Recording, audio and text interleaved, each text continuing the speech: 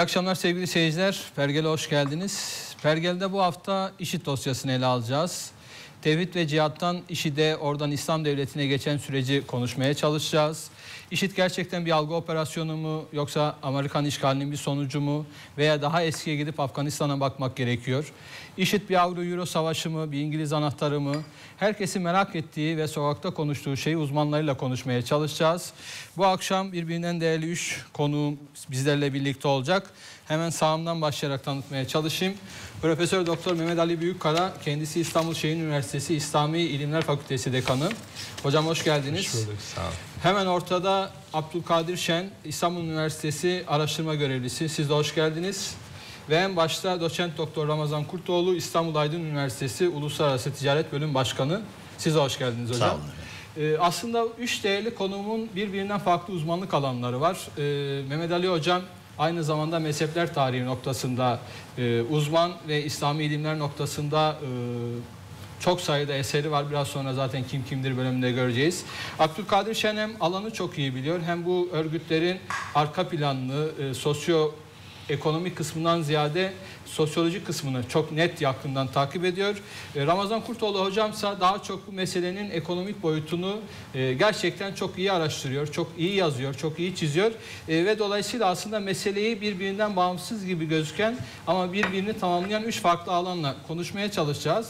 Sizin de sorularınız varsa programa katkı vermek isterseniz Twitter'dan Nevzat Çiçek adresinden bizlere ulaşabilirsiniz. Evet hocam işit dedik. Ee, aslında bir fenomen mi demek gerekiyor, bir algı operasyonu mu demek gerekiyor yoksa var olan bir gerçek de biz mi görmedik? Ee, işiti nasıl okumak gerekiyor? Yani işit eşittir dediğimizde siz ne görüyorsunuz?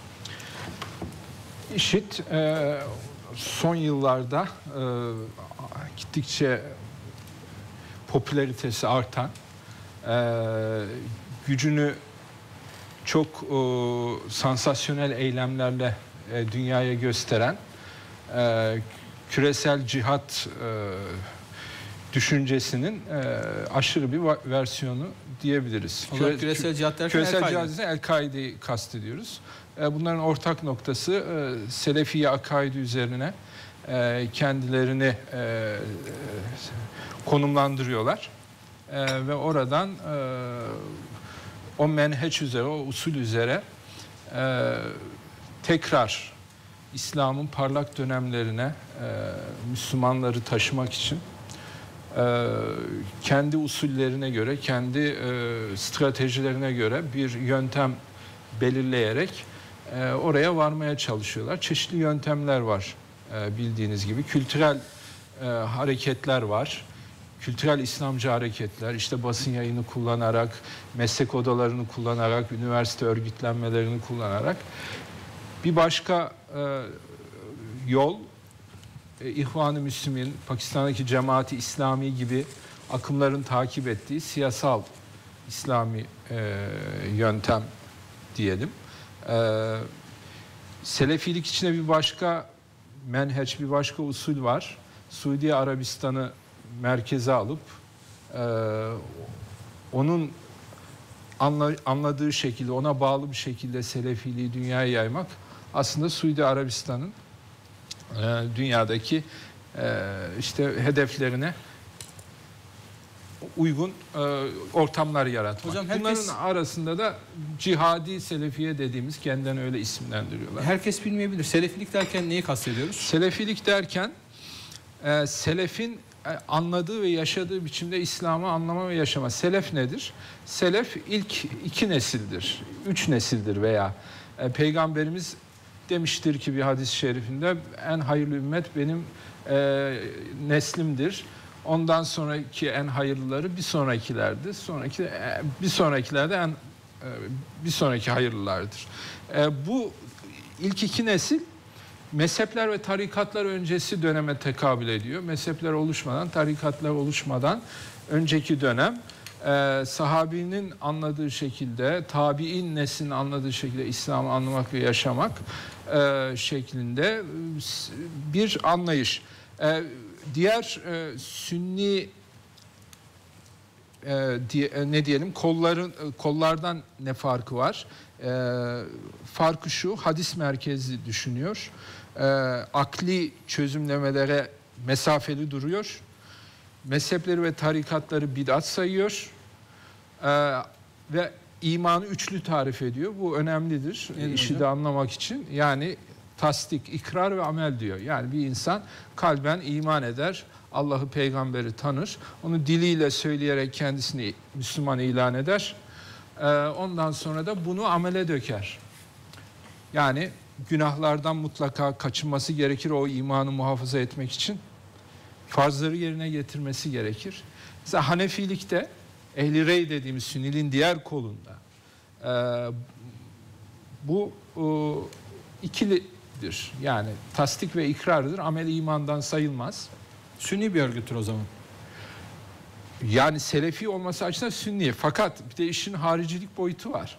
Nedir? Yani mesela e, çıkış noktası olan El-Kaide işi de haricilikle suçluyor.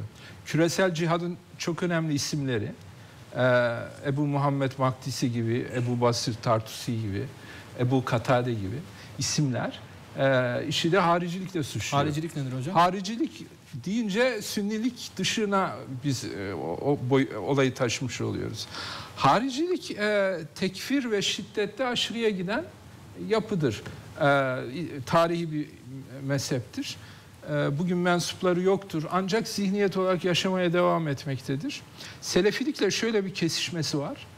E, onlar da imanı üçlü tarif ediyorlar. Tasdik, ikrar ve amel diyorlar. Ameli de işin içine katıyorlar. Fakat e, tekfirde çok aceleciler. Tekfir demek karşıdaki bir Müslümanın Müslüman olmadığını, kafir olduğunu ilan etmek demek. Kolay tekfir ediyorlar. Aceleci davranıyorlar tekfirde. Tekfir etmekle de kalmıyorlar. Tekfir ettikleri kesimlere şiddet uyguluyorlar. Onların canlarını, mallarını, kanlarını helal görüyorlar.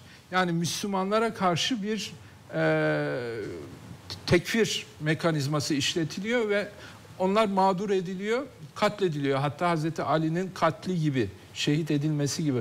Biliyorsunuz hariciler şehit etmiştir onu. Müslüman olmadığını, İslam'dan irtidat ettiğini düşünmüşler E, ve onun ortadan kaldırılmasıyla İslam'ın selamet bulacağını, İs- İslam'ın daha iyi yerlere geleceğini düşünerek onu e, maalesef şehit Peki etmişlerdir. bu düşünce çok eski olmasına rağmen örneğin IŞİD gibi örgütler niye yakın zamanda çıkıyor?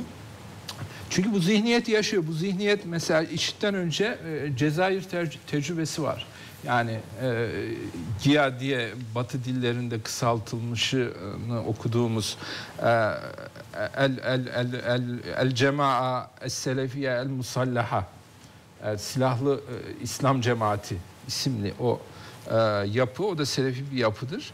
E, o da aynı işit gibi davranmıştır 1990'lı yıllarda.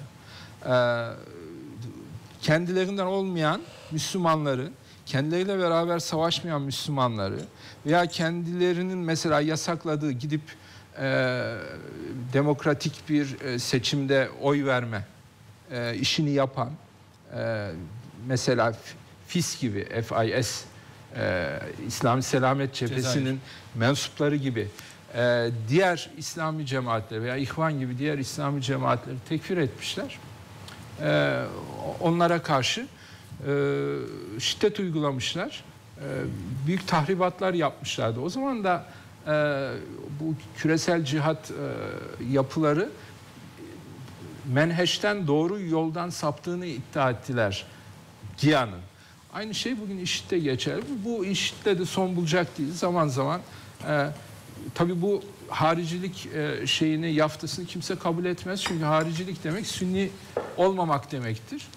Ama insanlar bu tür hareketlerden dolayı birbirlerine haricilikle suçlamışlardır. Bugün de suçluyorlar. Bunu açalım da Abdülkadir'e geçmeden Ramazan hocam şimdi siz IŞİD'i nasıl okuyorsunuz? Nasıl tanımlıyorsunuz? Efendim e, Uzmanlık alanınıza göre çünkü gerçekten merak ediyorum. Yani sonuçta burada e, İslami açıdan en azından bir tartışma yürütülüyor ama özellikle finansal açıdan baktığınızda, bölge dizaynı açısından bakıldığında siz Nevzat nasıl Bey, okuyorsunuz? e, önce şöyle arz edeyim e, sevgili seyircilerimize. Şimdi e, tıbbi bilimlerin, mühendislik bilimlerinin, fizik, e, kimya, biyoloji e, alanının e, preparatını, numuneyi verirsiniz laboratuvara sonucu alırsınız. Sosyal bilimlerin yani siyasetin, ekonominin, toplumsal olayların laboratuvarı tarihtir. O zaman tarihe dönüp baktığımızda aslında e, Endülüs İslam Devleti'nin yıkılış sürecini ve Endülüs'te olanları anlamadan hatta Osmanlı'nın e, özellikle 1555'ten sonrasını anlamadan hatta Osmanlı'daki Ender'in siyasasını, bürokrasisini anlamadan bugünü tam anlamak mümkün değildir. Bu anlamda baktığımızda e, 1492'de Endülüs İslam Devleti'nin yıkılmasından sonra Amsterdam'ın New Kudüs olduğunu görüyoruz. Daha sonra İngiltere'nin Yeni Kudüs olduğunu, New Kudüs olduğunu görüyoruz. Sonra da özellikle Amerika'nın keşfi ile birlikte özellikle Mayflower, Mayıs Çiçeği gemisinin 1632'de Amerika Birleşik Devletleri'ne gitmesi ki bu gemideki 111 kişilik aileden Amerika Birleşik Devletleri'nde 11 başkan çıkmıştır. Evet bu ailelerden 11 başkan çıkmıştır. Buna baktığımızda e, işin böyle bir tarafı var. Arkasından 1813-1815 Waterloo Savaşı'nı, İngiliz-Fransız Savaşı'nı anlamadan, Birinci Dünya Savaşı'nı anlamadan, sebeplerini anlamadan, İkinci Dünya Savaşı'nın sebeplerini ve Soğuk Savaşı anlamadan bugün anlamamız mümkün değil. Peki bugün nedir olan? Hocam özür diliyorum da şimdi bu tarihsel atıf çok yapılıyor. Fakat bazı uzmanlara göre de bu tarihsel atıf çok yapıldığında aslında meseleyi belki anlamaktan ziyade tırnak içinde söylüyorum, sizi tenzih ederek söylüyorum. Böyle sanki başka bir yere çekme olasılığı söyleniyor. Çünkü bu bahsettiğiniz olguları bir gencin bilme şansı yok. Şimdi tabii zaman olmadığı için detaya giremiyoruz ama başlıklarını gençlere hatırlatalım. İşte bu noktada 1978 Washington mutabakatı vardır. Dünyaya yeni bir model dayatıldı. Kim Neoliberalizm, post e, e, modernizm diye bir olgu dayatıldı. Bunun altı temel dayanağı vardır. Bunlardan bir tanesi dine başvurudur. Dindarlık değildir dindarlık saygı duyulur, dine başvuru bir taraftan dinleri radikalleştirirken bir taraftan Tom Cruise gibi herkes tanıdığı için onu söylüyorum. Scientology gibi New Age, yeni dünya tarikatları, yeni yüzyıl tarikatları, yeni çağ tarikatları ile dinlerin içi boşaltılır. İkincisi, Bu 78 mutabakatını kim oluşturuyor? Amerika Birleşik Devletleri'nin tamam. başını çektiği Washington mutabakatı vardır. Bu bugünkü dünyayı anlamak için bu mutabakatı iyi bilmek lazım. İşte bu noktada birincisi dine başvuru politikasıdır. İkincisi finansal spekülasyonlardır. Finansal spekülasyonlarla ilgili söyleyeyim. Önce merkezi devletler boş, borçlandırıldı. Sonra kamu belediyeler borçlandırıldı. Sonra özel sektör şirketleri borçlandırıldı. Sonra batıda özellikle aileler borçlandırıldı. Bu sürece Türkiye'de dahildir. 24 Ocak 1980 kararlarından sonra. Baktığımızda bugün dünyanın 2013 yılındaki toplam milli geliri 80 trilyon dolar iken şu anda dünyadaki sanal para 830 trilyon dolar.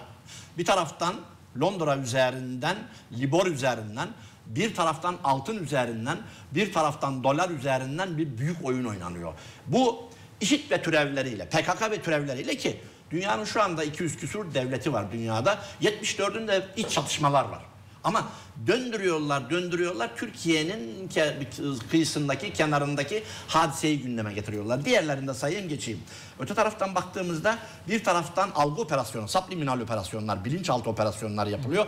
Bu konuda Hollywood filmler, bilgisayar oyunları, medya üzerine düşeni zaten yapıyor. Öte taraftan bakıyorsunuz asimetrik savaş ve terörizm.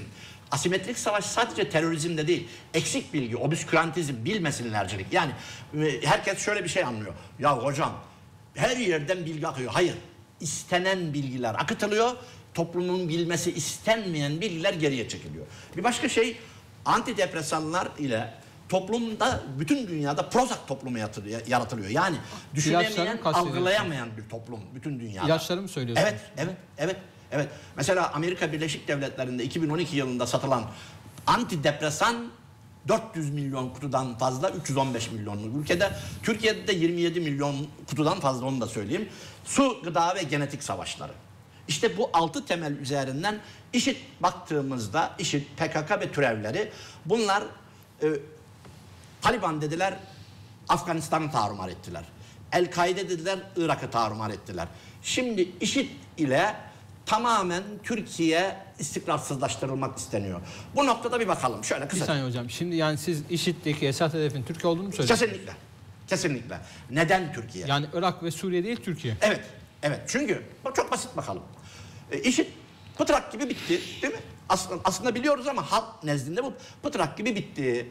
Ve koşar adımlarla Fırat Dicle Vadisi'ni olduğu gibi ele geçirdi. Bağdat'a yaklaştı, Erbil'e yaklaştı. O zaman batılı dostlarımız nedense ne hikmetse buraları bombalamadılar. Ama ne zaman ki Kobani veya Ayn el Arap denilen yere geldi. Sivil halk 200 bin oradaki Kürt kardeşlerimizi biz aldık. İyi de yaptık. Aldık orada baktığımızda PKK ve Türevi ile işit boğaz boğaza geldi.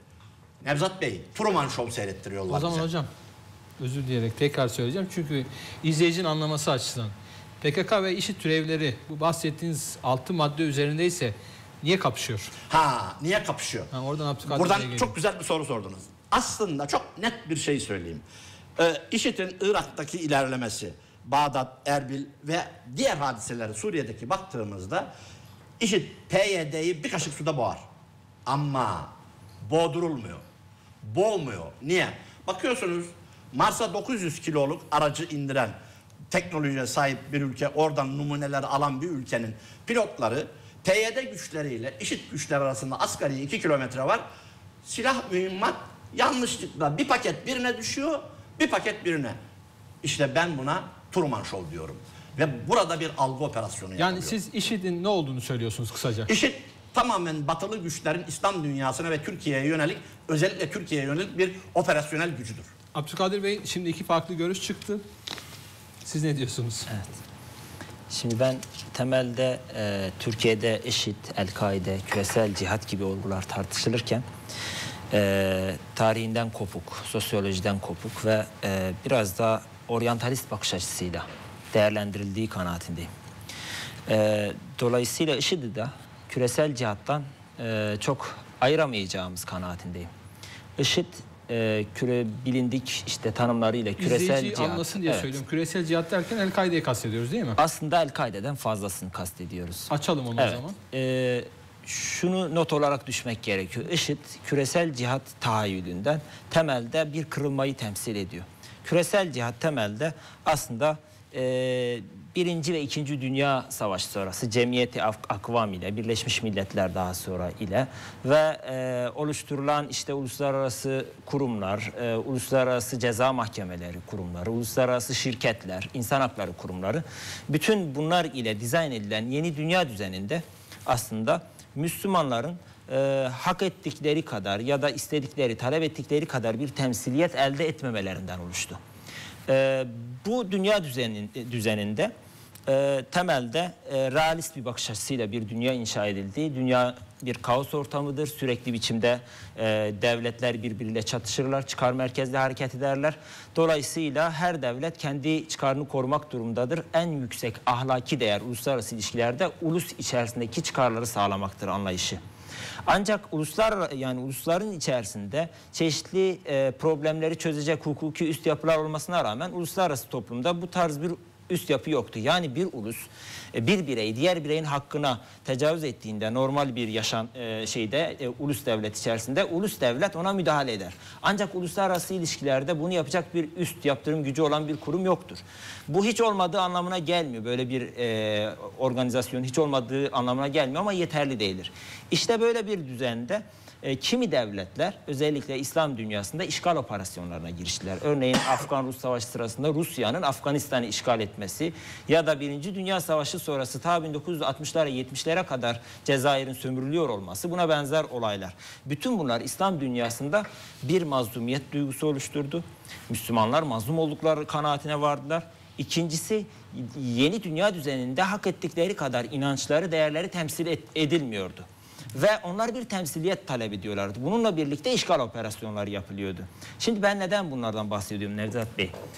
Kimi zaman bu tanımlamaları yapmak riskli aslında mayınlı bir arazi. Şöyle ki bu tanımlamaları yapmanın mesela IŞİD'in kabul edilmeyen bir eylemin ya da bir takım bir eylemler dizisini meşrulaştırmak olduğu düşünülebiliyor. Aslında bu kaygı haklı bir kaygı, bir yönüyle haklı bir kaygı. Bununla birlikte bizim Ee, bu yapılanmayı, bu örgütü böyle bir anda işte 2014 yılında e, Suriye şartlarında çıkan bir örgüt olarak kabul etmemiz de e, aslında çok e, doğru bir tespit Yani siz değerlendirme bu değil. işgaller ve Afganistan'a kadar giden Evet, süreci söylüyorsunuz. evet. Şimdi- o zaman Ramazan Hoca'dan ayrılıyorsunuz orada. Tabii bu konuda ayrılıyorum. Çünkü şöyle e, IŞİD Türkiye e, kendi sınırına, Kobaniye ve Suriye gündemine IŞİD girdiği için Türkiye halkı bu denli IŞİD'i biliyor, tartışıyor şu- süreçte. Ancak IŞİD aslında 2003 yılında kuruldu. Hepimiz IŞİD'in bir işgal operasyonu sonrası kurulduğunu. Ama IŞİD'den. Evet.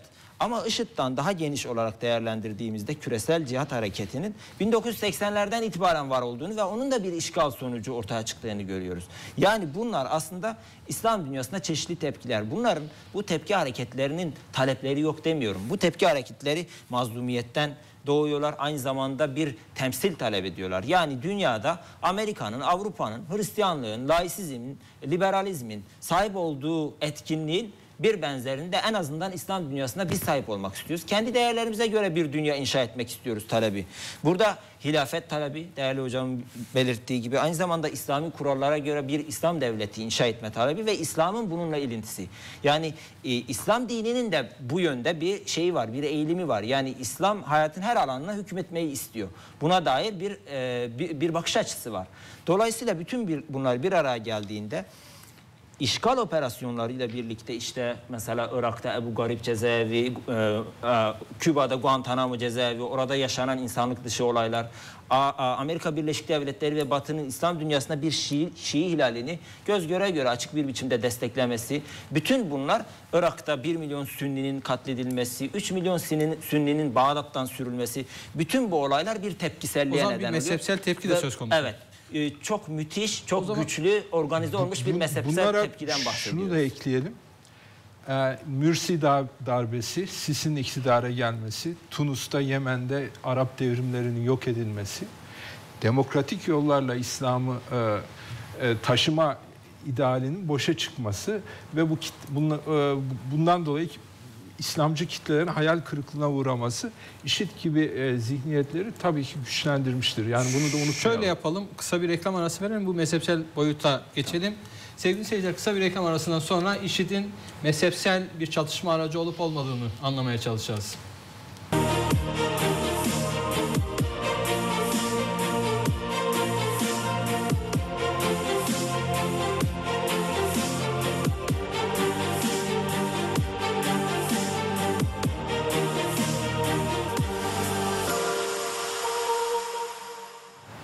Sevgili seyirciler, Profesör Doktor Mehmet Ali Büyükkara, Abdülkadir Şen ve Ramazan Kurtoğlu ile IŞİD'i konuşuyoruz.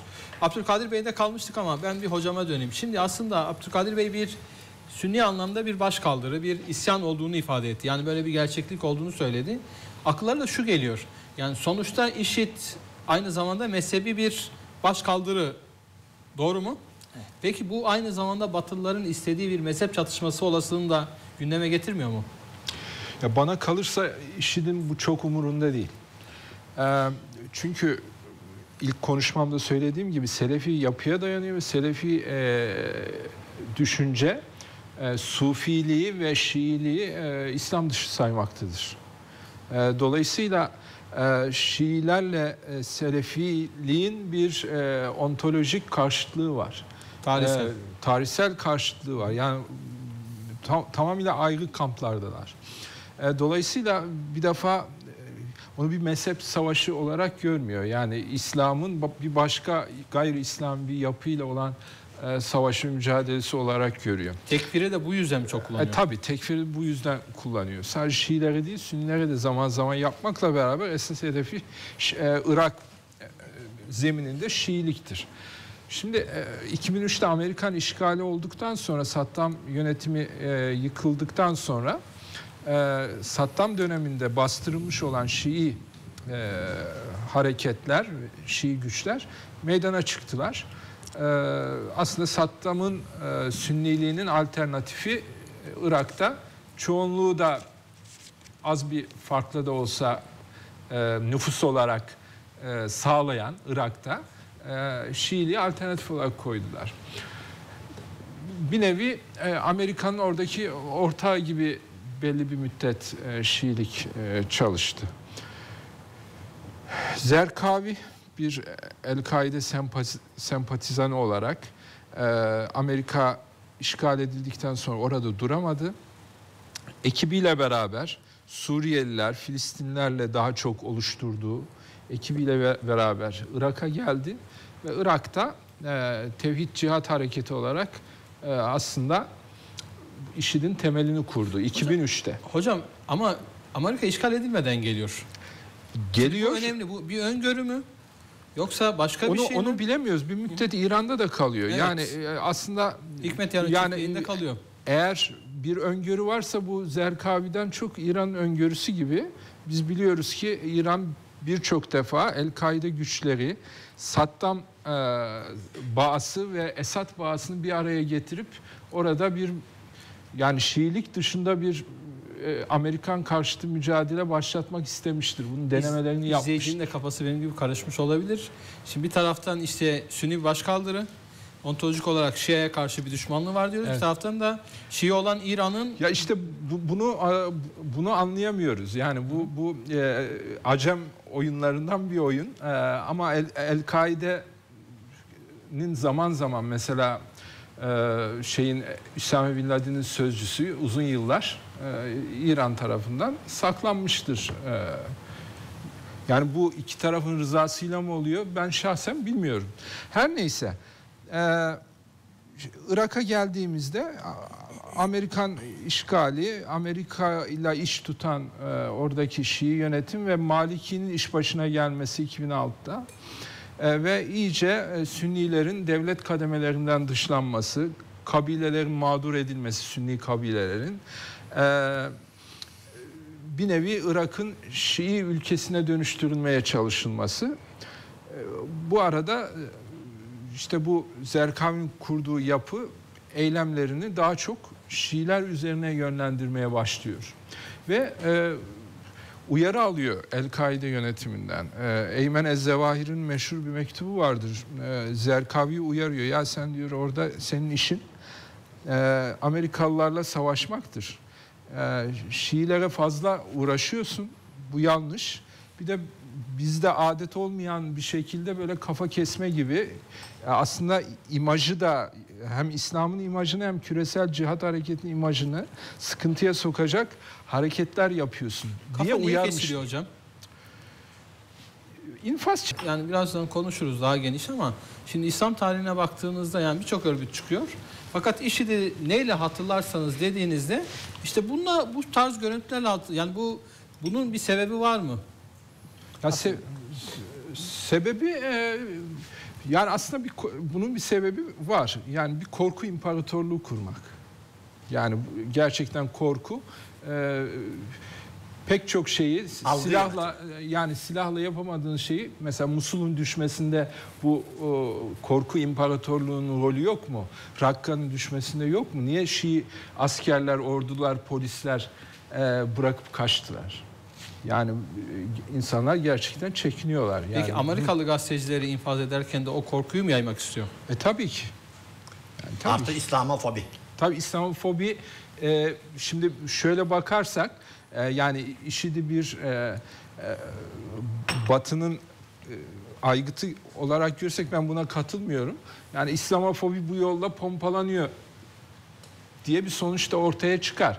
Ben bunu demiyorum ama nihayetinde Ama çıkıyor. nihayetinde çıkıyor ve bunu çok ustalıkla Batı, Amerika kullanıyor. Ee, yani onlar ön plana alınıyor. Ee, manşetlere taşınıyor. Ee, işte Müslümanlar budur e, şeklinde bir imaj ortaya koyarak aslında Batı'daki e, yaşayan e, Müslümanlar mağdur ediliyor. İşte Güven, Balkanlar- güvenlik politikaları Balkanlar bunun tipik bir örneği. En Evet. son yapılan yani, operasyonlar. e, oradaki aslında IŞİD'le şununla bununla hiç alakası olmayan örgütler baskı altına alınıyor. Onların masum e, e, ve aslında güzel çalışmaları engelleniyor. Camiler e, tarassut altına alınıyor. E, okullar kapatılıyor. Güvenlik uygulamaları ayyuka çıkıyor. Yani bunlar ustaca kullanılıyor. Peki Abdülkadir Bey şimdi o soruyla başlayalım. Yani bir taraftan eğer mezhep önemli değilse işit açısından, diğer taraftan bu İslamifobi algısı çok güçleniyorsa, ile El-Kaide arasındaki temel fark ne? Şimdi temelde Nevzat Bey, e, öncelikle e, birkaç temel kavram var ki onları güzel anlamamız gerekiyor. Bunlardan birisi de az evvel üzerinden böyle özetle geçtiğimiz küresel cihat hareketidir. Şimdi e, ben sözüm or- orayı anlatırken yarıda kaldı. Yeni dünya düzeninde ulus devletler dizayn edildi. Bugün 200 tane BM devleti var dünyada ulus devlet olarak. Bu ulus devletler aslında İslam'ın kendi içerisinde, kendi temellerine çok uyumlu değil. Çünkü Müslümanlar bir hilafet sisteminden ya da işte en azından bir İslam birliği tarzı bir birliktelikten birbirine muhalif, birbirinden sınırlarla ayrılmış bir hale geldiler. Bir e, parçalı bir hale geldiler ve bir politik bütünlükleri yok. Dolayısıyla ulus devletlerin e, ortaya çıkışı ve hilafetin ilgasıyla birlikte e, yoğun bir biçimde İslam dünyası Batı'nın sömürgesine girdi, işte etkisi altında kaldı E, ve buna da çeşitli tepkiler doğdu. Bu tepkiler sadece IŞİD, El-Kaide, küresel cihat değil. Örnek veriyorum e, 1920'lerde işte ortaya çıkan e, İhvan Hareketi 1950'lere bugüne kadar aslında ama 1950'lere kadar bir e, şey ortaya koydu. Bir mücadele biçimi ortaya koydu. Sözünüzü unutmayın da işte sıkıntı da orası, sorgulanan da o. Şimdi İhvan, Cemaati İslami, diğer hareketlere baktığınızda Ömer Muhtar'a falan deniyor ki evet emperyalistlere karşı böyle hareketler ortaya çıktı ama bu tür görüntüler verilmedi. Sıkıntı orası. Yani şimdi, bunun şimdi tam da oraya geleceğim. Bu hareketlilikler e, seçim ise seçimlere girdiler. Davet çalışmaları ise bunu yaptılar. İlmi çalışmalar yaptılar. Akademik çalışmalar yaptılar. Halkların da gönlünü de yer yer kazandılar. Başarılı oldular. Başarılı örneklikleri var. Ancak bu başarılı örneklikleri yoğun bir biçimde batılı etkiyle, batılı müdahaleler ile akamete uğratıldı. Örneğin mesela en son Mursi'nin iktidarının e, dünyanın gözü önünde demokratik temayüllere saygı duymayan batı tarafından e, çok açık bir biçimde e, akamete uğratılması gibi. E, mesela Nahda Hareketi 1950'lerde işte e, şey e, 1980'lerde yoğun bir ciddi bir oy aldı ama ne oldu? Raşit Gannuşi ve ekibi e, Londra'ya iltica etmek zorunda kaldılar. E, aynı biçimde Cezayir İslami Hareketi demin hocamın bahsettiği gibi yüzde 85 oy aldı. Yüzde 85 oy demokrasilerde nadir görülen bir oy oranıdır. Bunlar her türlü yöntemi denediler. Demokratik yöntemi den- denediler. Camilerde e, örgütlendiler. Ancak her birisinde bir e, problemle karşılaştırırlar. Batı müdahalesi. Mesela Cezayir'de Fransızların desteğiyle darbe oldu. 100 bin insan öldü.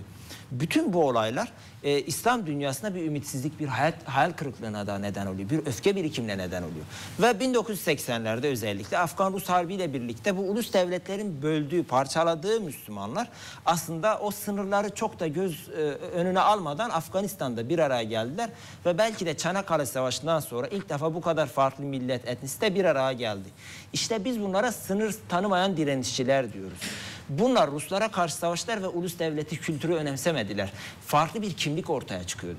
İşte bu kimlik, bu kimliğe karşı e, Sovyetlerle birlikte işte artık yeni düşman tehdidi İslam dünyası olarak algılandı ve çeşitli işgaller yapıldı, saldırılar yapıldı. Somali'ye mesela Operation Restore Hope çevik birlerin katıldığı de katıldığı operasyon. Bunun dışında Lübnan operasyonu, başka Körfez operasyonları.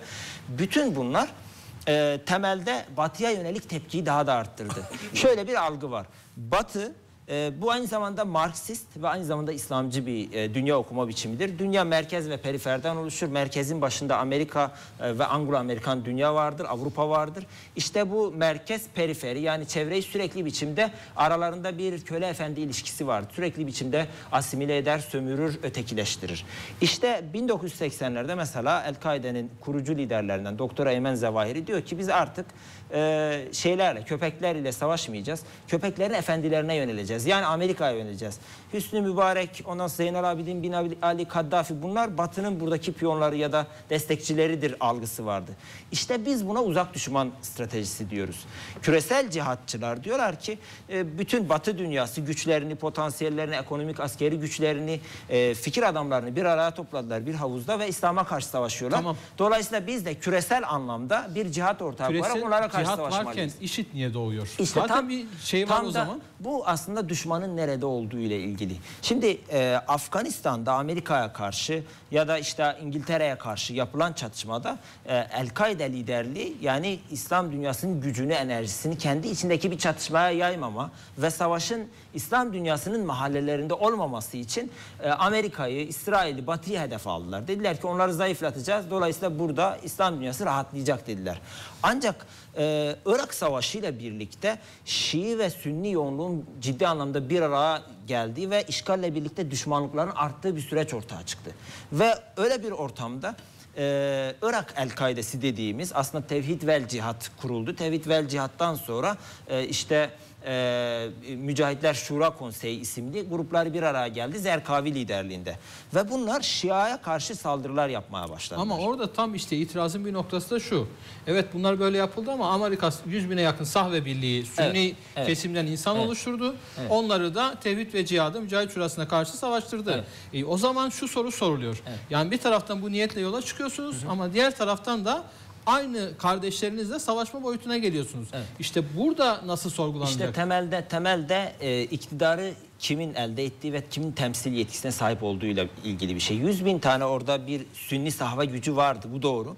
Ama bununla birlikte karşıda bütün bir devlet bütün kurumlarıyla baştan aşağıya Şiilere teslim edildi. İran güdümündeki işte Sistani, Şirazi Şiilerine teslim edildi. Sadra, e, Bedir Tugalarına teslim edildi. Ve bunlar mezhepçi bir dürtüyle Sünnileri ötekileştirdiler. Camilere saldırdılar, insanları katlettiler. Amerika'dan bir katliam mirası devraldılar. İşte bu aslında kimlikle ilgili aynı zamanda bir şey. Yani bir dönem sonra insanlar eee, kimliklerini yani işte Sünnileri de bir şekilde kötü bile olsa ya da aykırı bile olsa kendilerinden sayıp asıl düşmana odaklanıyorlar. İslam dünyası ne kazanıyor burada? Mesele Şimdi bu. Temelde bu bu çatışmayı ben şahsen bir e, tuzak olarak e, değerlendiriyorum. Yani İslam dünyasının e, işte on yıllar belki sürecek bir çatışmada Şii e, dünya ile bir şekilde çatışmaya girmesi, çatışması, enerjisini tüketmesi, insanların öldürülmesi, haremlerin çiğnenmesi bu bir e, temelde bir tuzağa işaret ediyor.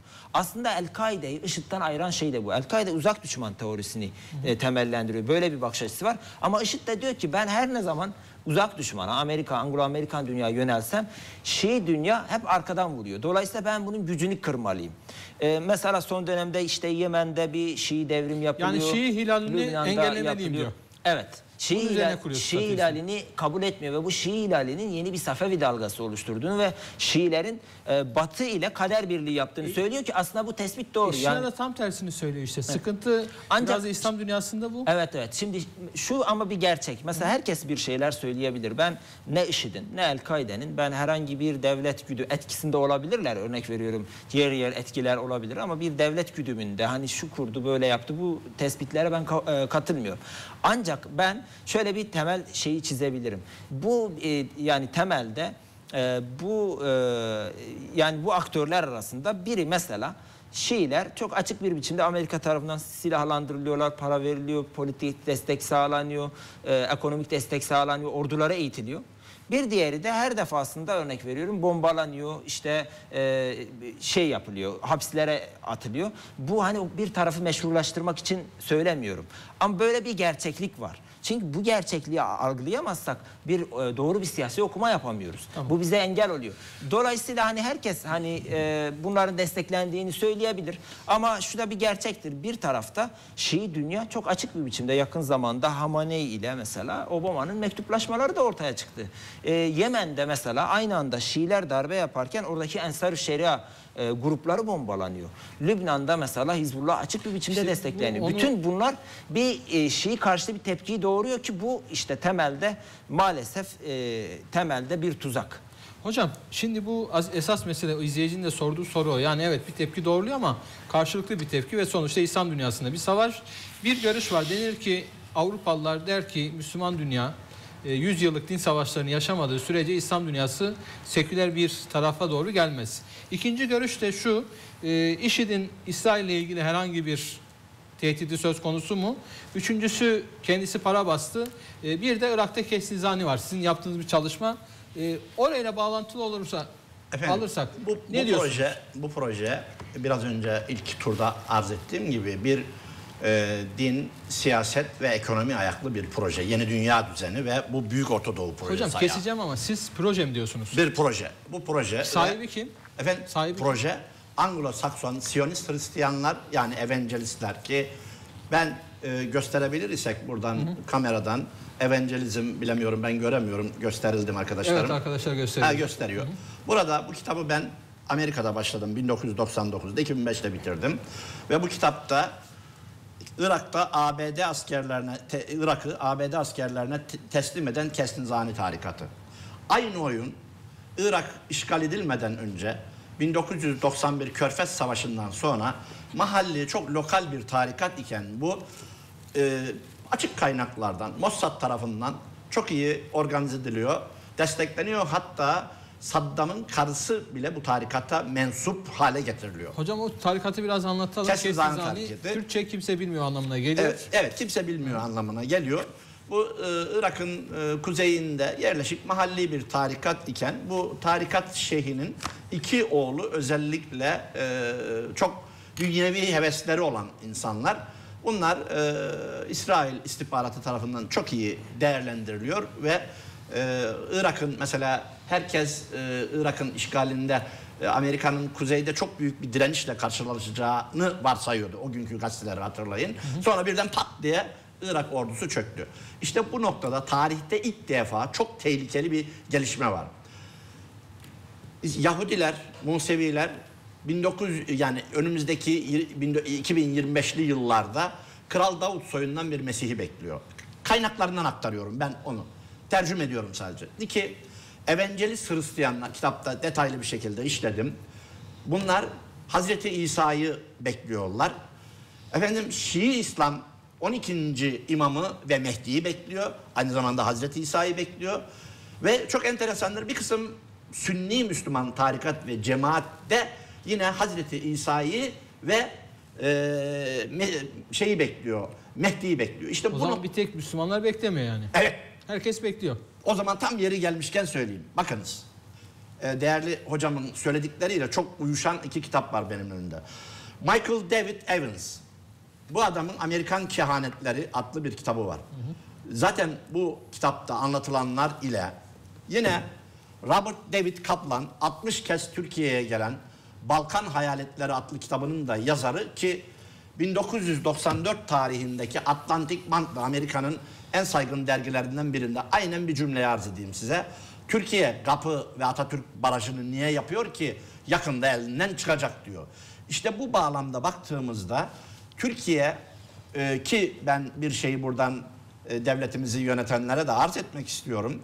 Özellikle e, Haziran 2015 seçimlerinden Türkiye en azından finansal ve ekonomik anlamda daha çok sıkıştırılacak. Çünkü bunun ipuçlarını çok ciddi internet kaynaklarında görebiliyoruz. İşte bu noktada Mesih'i bir projeyle karşı karşıyayız. Daha önce mübarek Bir daha İslam'ın orayı tekrarlar mısınız hocam?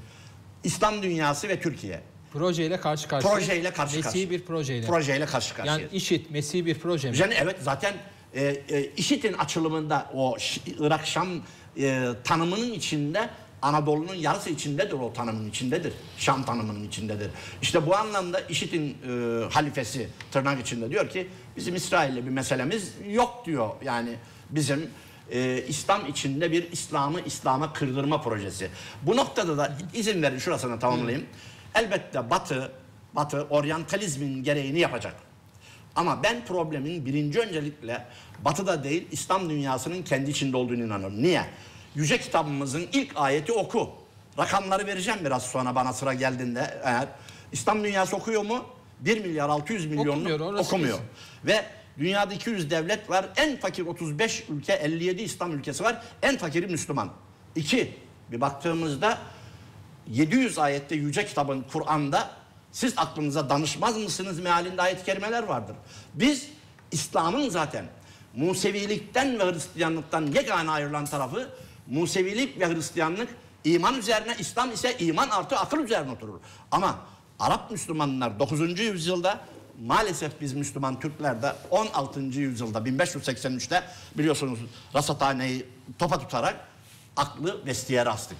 İşte bu anlamda İslam dünyasının mutlaka ki 2011 2006 yılında 15 milyon civarındaki Yunanistan'ın bütün dillerden kendi diline çevirdiği Türkiye hariç e, eserler, makaleler, telif eserleri bir buçuk milyarlık İslam aleminden daha fazla.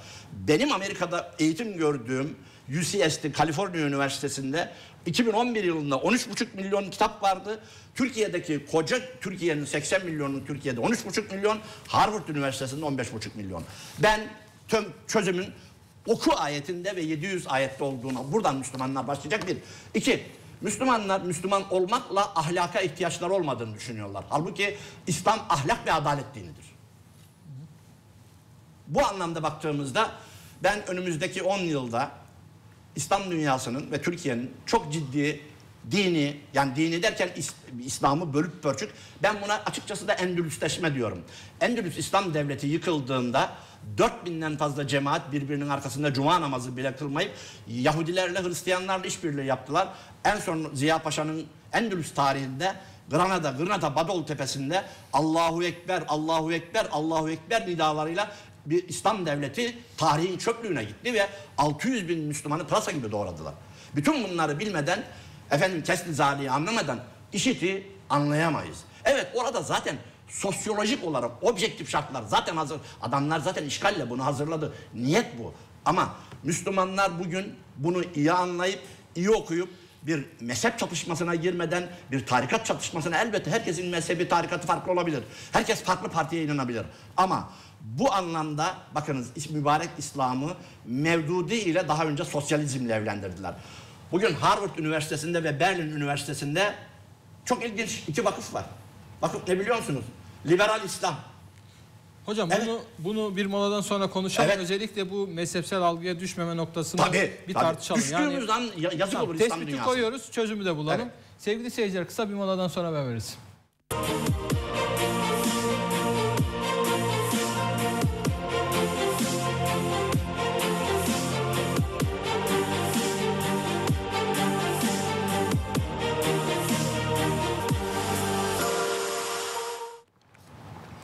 Sevgili seyirciler programın 3. bölümüyle karşınızdayız. İşi konuşuyoruz. Aslında çok sayıda soru geliyor. Bunları tek tek iletirsem herhalde programın yetmeyeceğini siz de tahmin edersiniz. O yüzden birleştirerek e, bunları yönetmeye çalışıyorum. Ramazan Hocam şey sorusunu özellikle tekrar soruyorlar. Çok kısa tekrar açmanızı rica ediyoruz. Bu Mesih bir proje kısmı şu, şunun için soruluyor.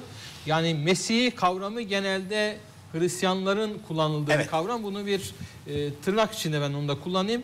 Bir İslamcı örgüte mal etmeniz hakanet açısından doğru mu diyorlar? Efendim e, Müslümanlarda e, Mehdi'yi bekliyorlar yani ikisi örtüşüyor e, baktığınızda. Zaten ben de söylemiyorum yani burada e, söylüyor. İşte Artı onu e, referans kıldığınız için zaten tepki geldi. Evet. Yani sonuçta bunu bu projelerin sahibi yabancılar söylüyor, Batılılar söylüyor. Ona referans e, verdiğinizde olan, olanlara baktığımızda Kesin Zani tarikatı Müslüman bir tarikat değil mi? Ama Irak'ın tarumar edilmesinde ve Amerika'ya teslim edilmesinde başrol oynadı. Ben söylemiyorum. Batı'da bir sürü kaynak var. Artı elimde bir yine yazmış olduğum 2009'da yine gösterebilirsek Küresel Hegemonya Savaşları kitabı var. Orada 2009'da daha işit yok. Bir şey yok. Başlık şu bir bölümün.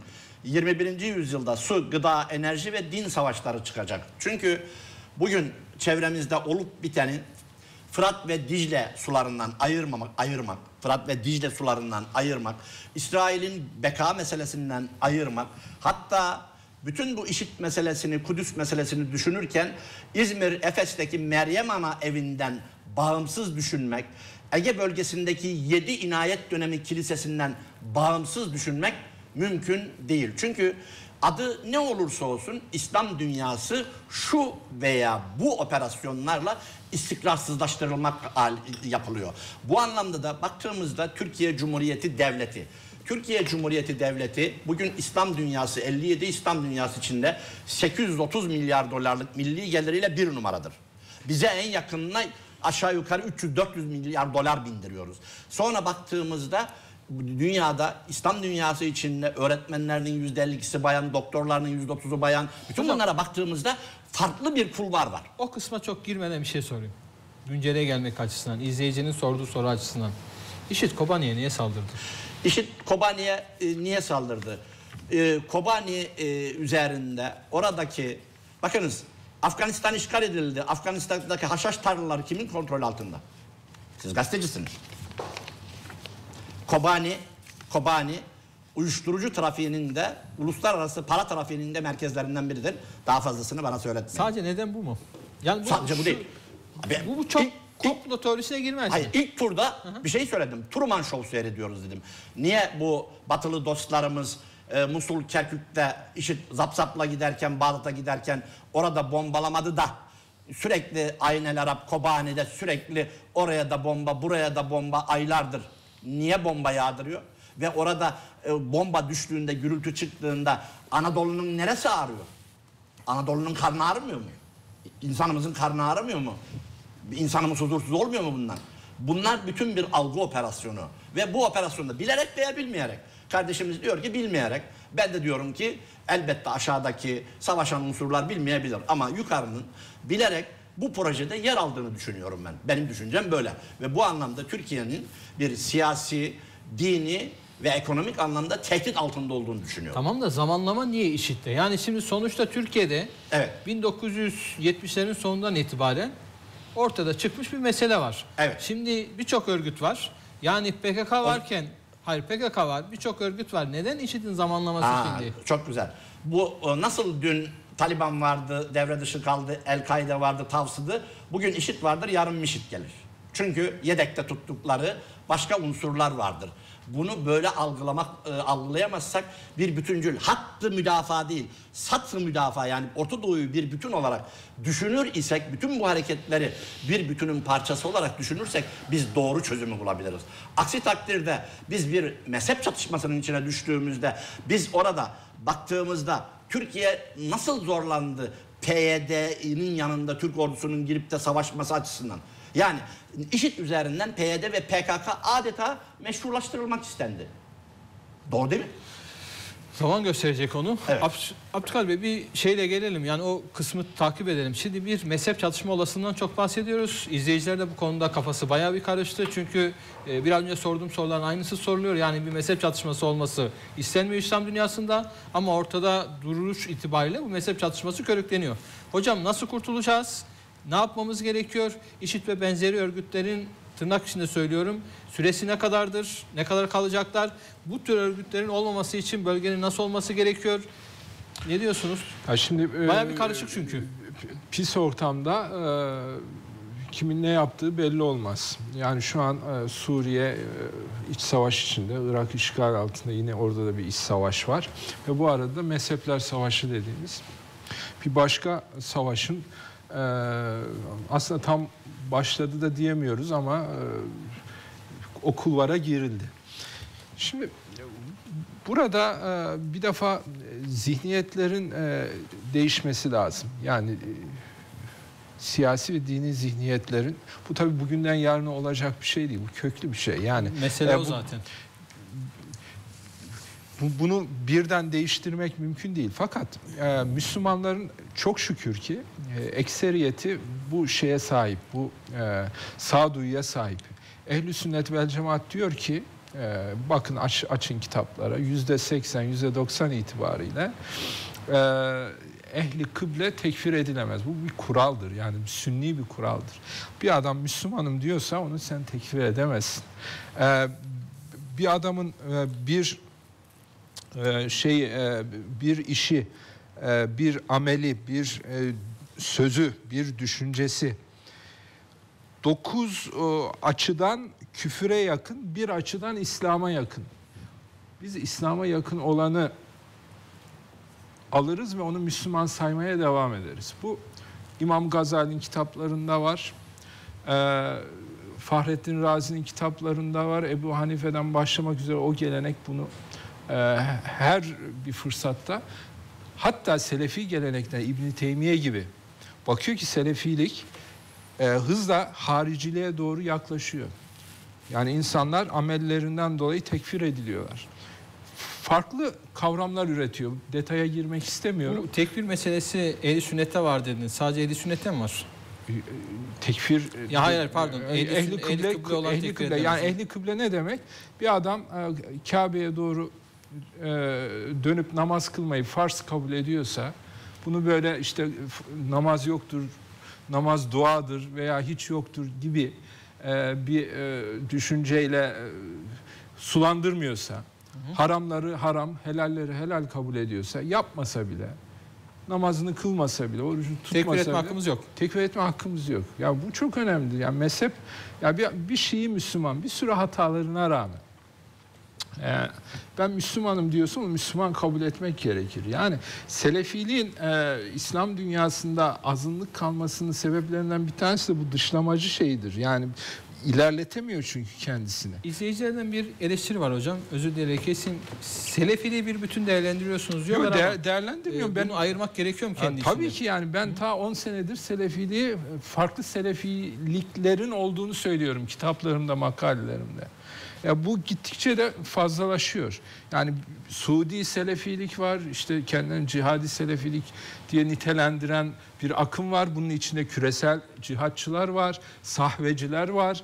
Ee, son zamanlarda politik e, alana giren Selefilik hareketleri var. Kosova Yani bunları gibi.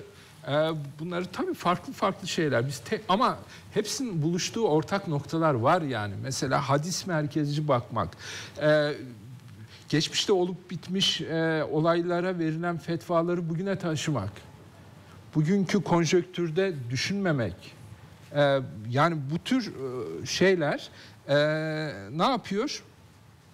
bir defa diyaloğu ortadan kaldırıyor. Ya ortada bir e, Ab- Abdülkadir kardeş çok güzel anlattı. Yani or, o- Müslümanlar 100 senedir, 200 senedir çok kötü durumda. Yani bu durumda e, siz hedefinize yöneleceğiniz yerde Müslümanları ayağa kaldıracağınız, işgalleri sonlandıracağınız yerde işte Şiiliğin üzerine giderseniz bunu gerekçelendiriyor IŞİD veya El-Kaide. Diyor ki işte bunlar tarih boyunca e, her zaman e, hakiki Müslüman olmadıkları için tırnak içinde e, kafirlerle işbirliği yapmışlardır. Hristiyanlarla beraber hareket etmişlerdir. İşte bunların asıl gayesi Müslümanlık falan değildir. Ee, Müslümanlığın yıktığı e, mecusi e, şeyini Pers İmparatorluğunu tekrar diriltmektir. Ya bu çok aşırı bir iddiadır. Yani aynı böyle, şeyi ya böyle bir şey olamaz yani. Çünkü yani yakın, gel- yakın vadeye bakın. Yani ben Abdülkadir Bey'in o tespiti e, kendisi e, kendi tespiti gibi yansıtmadı ama e, yani Şii e, Şii hareket her zaman Amerika ya Amerika Amerika ve küresel güçlere Şii hareket çok ağır darbeler de indirmiştir yani. E, bu İran İslam devrimi Amerika'yı rezil etmiş bir e, şeydir, siyasal harekettir. Yani bunları da e, gözden geçirmeliyiz. Yani Hizbullah'ın işte bu Suriye'den önce e, Lübnan işgalinde İsrail'i e, ne hale getirdiğini biliyoruz. Yani e, böyle bir e, mutlak işbirliği var. E, Siyasal bu, bu neden değişebilir. ya bu, bu değişir böyle bir şey yok Abdülkadir yani. Bey bir gelmeden bir şey daha sorayım. Çok soruluyor. Neden İslam dünyasındaki bütün sorunların ana kaynağı hep hadisler üzerinden bize geliyor? Yani mesela işte IŞİD'in söylediği bir şeye bakıyorsunuz. Bir hadis meselesi üzerinden dayandırılıyor. Farklı bir uygulamaya bakıyorsunuz. Gene hadis meselesi üzerinden.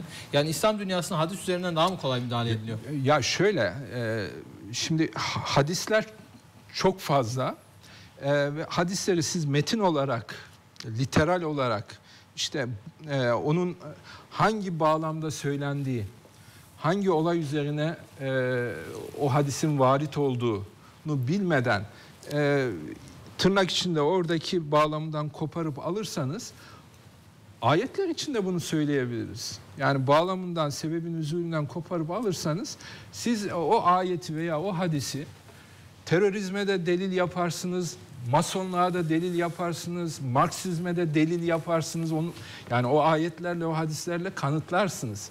Yani önemli olan burada literal okumayı terk etmektir. Yani bütüncül olarak sünnet neyi neyi bizim önümüze koyuyor? Ee, işte ahlaktan bahsetti Ramazan Hoca. Ee, bu, bunun ahlakı nedir? Bu hukuk kaidesi ortada var. Peygamberimiz işte şu, şu, şu zaman şunu söylemiş veya şu vakit şunu yapmış. Ama bunun arkasındaki gaye nedir? Maksat nedir? Bunun, e, bundan çıkartılacak ahlak nedir? Yani bu Yani bu, bunları e, bu- bunlarla değerlendiremezseniz yani devreye kıyası aklı akli çözümleri koymazsanız e, o zaman siz e, her türlü e, kötülüğü yanlış şeyi Kur'an ve sünnet e, hadis e, literatüründen çıkartıp alırsınız. İşte e, oradaki e, problem oluyor. literal okumadır. Peki Abdülkadir Bey şimdi e, izleyici diyor ki Ramazan Hoca ile özellikle Abdülkadir Bey'in şeyi çok farklı. Bakış açısı çok farklı. Hocam bu noktada Ya ben e, Abdülkadir Bey'e daha yakın duruyorum. e, şimdi bu, bu, bu noktada e, şu soru soruluyor. Birincisi yani IŞİD'in ortaya çıkış sebeplerini herkes kendisine göre saydı. Fakat bir IŞİD ve benzeri bir yapılanmanın olmaması için bölgenin nasıl olması gerekiyor? Birinci soru. İkinci soru da e, İslam'a karşı bir İslam projesi içerisinde yer alıyor mu bu tip yapılar? Nevzat Bey ben temelde ne IŞİD'i ne küresel cihat hareketini harici olarak görüyorum ne de bunları belirli güç odaklarının kontrolünde yapılar olarak görüyorum. Ben e, İslam dünyasında Müslümanların bir işgal operasyonuna maruz kaldıklarında özgün e, bir biçimde e, kendi potansiyelleriyle bir direniş ortaya koyabilecekleri kanaatindeyim.